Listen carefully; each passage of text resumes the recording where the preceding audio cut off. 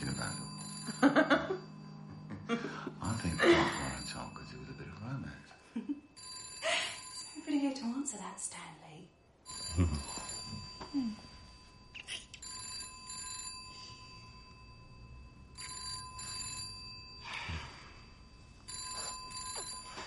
Somebody really wants you, Stanley, and they're not going to give up.